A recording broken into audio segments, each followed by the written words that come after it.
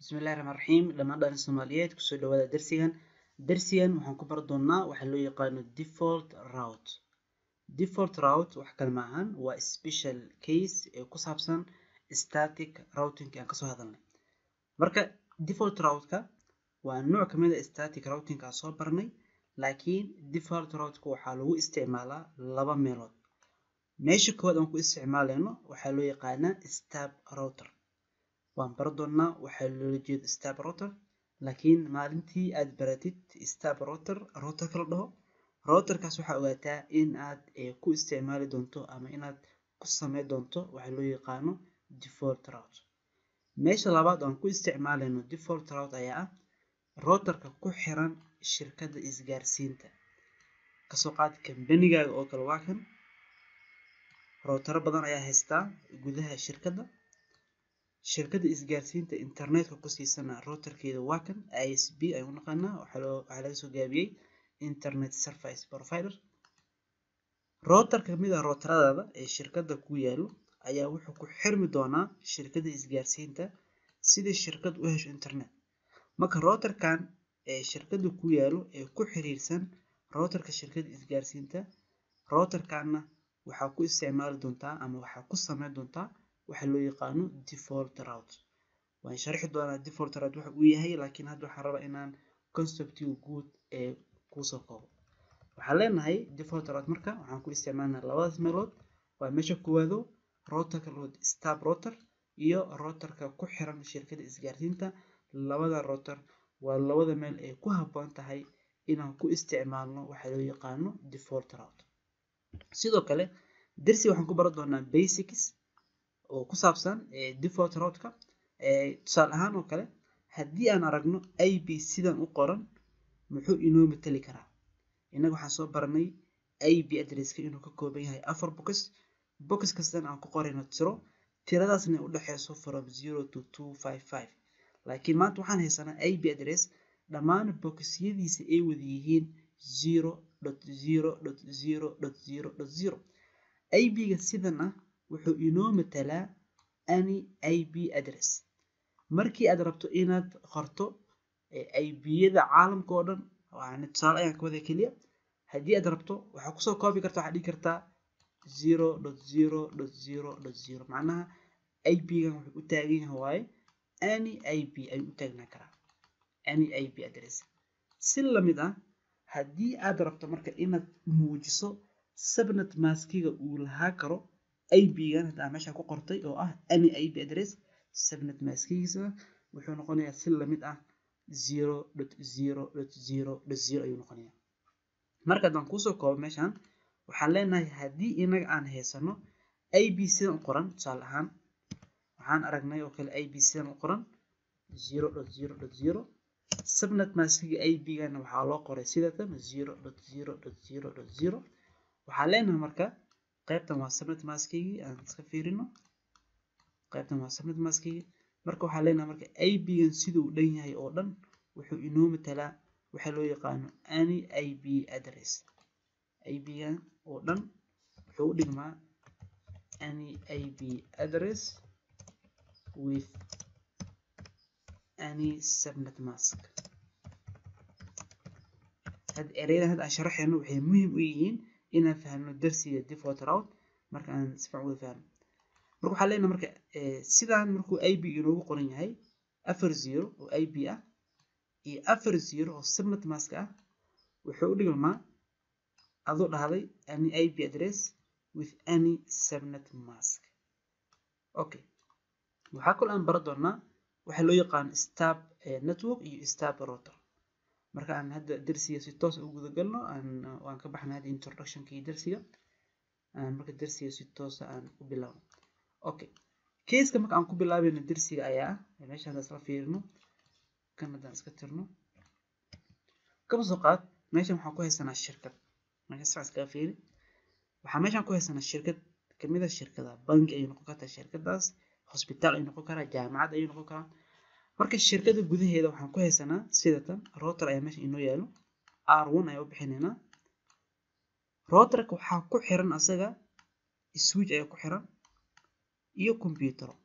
Macnaha routerkan wuxuu leeyahay local area network. Si la mid ah routerka waxaa ku sii xiran router kale waa isla gudaha shirkadda r2 ayaan leenahay. Sidoo kale meeshan waxaa ku sii xiran router kale waxaan leenahay sidoo kale r3 waxaa laga yaaba marka inuu routerkan keliya ee r1ka ah ee r2ga ah inuu ku sii xiran yahay laba switch tusaale ahaan. Kanna sidoo kale laba switch. Kanna sidoo kale laba switch. Yani switch kasta waxaa ogtahay inuu kugu taagan yahay lan ama local area network. Macnaha routerkan hadda aan joogno ee saddexaad. Midkan waxaa ku xiran ayaa leenahay saddex network ayaa connected ku ah. Network waa kan waa network u dhexeeya asaga iyo routerka r1 iyo laba network oo gudaha uu leeyahay. Waa laba lan ee ku xiran routerkaas.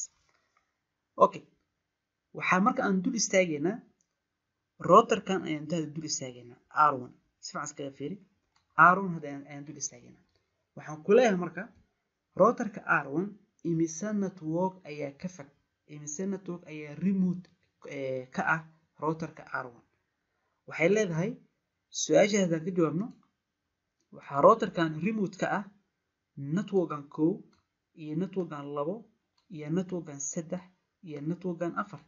Afar network ayaa ka fog routerka r1 markii aan eegno inaga hadda sawirka ama topology hadda aan meeshan ku haysano sida u sii fahna marka? Routeradan ama networkaskan gudaha ku jiro mid kasta aan siino marka magac.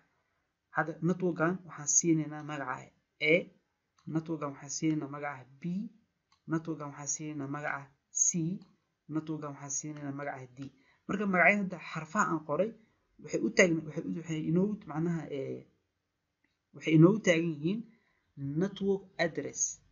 Intaan dhihi lahayn networkan cinwaankiisa waa one seven two sixteen one zero kana aan dhihi lahayn ten ten ten zero kana aan dhihi lahayn networkiisa waa one nine two one waxaad u soo gaabsan marka xarfahaas. Okay waxaa kaloo marka aan rabnaa intaan sii guda galin meeshan r1 oo kale wuxuu leeyahay laba interface uu kula xiriiro networkiska ka fog hadda aan soo sheegnay. Interface kastana waxaa ogna inaga inuu leeyahay magaca hadda interfacekan oo kale haddaan magac aan siino interfacekan waxaan leenahay magaciisa waa s zero aan iskaga soo gaabsanayaa interfacekan kalena waxaan u soo gaabsanaya inuu yahay s one waa magaca interfaceka. Okay su'aal kale ku weydiinaya marka hadda maadaama aan magacyadii interfaceska aan qornay iyo magacyada networkska su'aasha hadda aan ku weydiinaya waxay tahay waxaa ii sheegtaa routerka r1 markii uu la xiriirayo networka a iyo networka b iska fiiri su'aashan routerka r1 markii uu la xiriirayo networka a iyo networka b halkuu ka bixinayaa informationka ku wajahan networka a iyo networka b marka ka jawaabno su'aashaas waxaan leenahay routerka one routerkan koowaad markii uu la xiriirayo networka a iyo networka b informationka ku aada marka labada network wuxuu ka bixinayaa marka interfacekan ayuu ka bixinayaa oo ah s zero. Si la mid ah routerka one markii uu la xiriirayo network c iyo network d halkuu ka bixinayaa informationka waxaa leenahay simbal ahaan routerka r1 wuxuu informationka ka bixinayaa information ku wajahan c iyo d. interfaceka s1 meesha marka waxaa inooga soo baxayo in routerka r1 markasta uu la xiriirayo marka networkiska ka fog asaga inuusan isku interface uusan ka bixin taraafikada ku wajahan networkiska ka fog r1 oo r1 marna wuxuu informationka ka bixiyaa s0 marna wuxuu ka bixinayaa informationka s1 waxayna ku xiran tahay ayaan leenahay goorta uu ka bixinayo informationka s0 iyo s1 waxay ku xiran tahay destinationka ama informationka halka ay ku socoto ama network ay ku wajahan tahay informationkaas. Haddii informationka ay ku wajahan tahay tusaale ahaan computer ka tirsan networka b routerkan r1 informationka wuxuu ka soo bixi doonaa marka s0 ayuu ka soo bixi doonaa. Intan waxaas leeyahay marka inaan fahnay meeshan hadafka ama sharxadan hadda hadafka keliya aan kale ayaa ah inaan fahno in routerka r1 uu adeegsanayo more than one exit interface more than one exit interface sida uu la xiriiro networkiska ka okay tusaalahan kale marka haddaan isla fiirino tusaalahan kale aan wada fiirino hadda marka waxaan qaadanaynaa tusaale ku saabsan routerka r2 waan isla fiirinayna marka. Su'aasha kood aan ku weydiinaya waxay tahay routerka r2 waa routerkan meesha inoo yaalo. Routerkan r2 imise network ayaa ka fog si iskaga fiiri meeshaan. Waxay leedahay routerka r2 networkiska ka fog ayaa ah.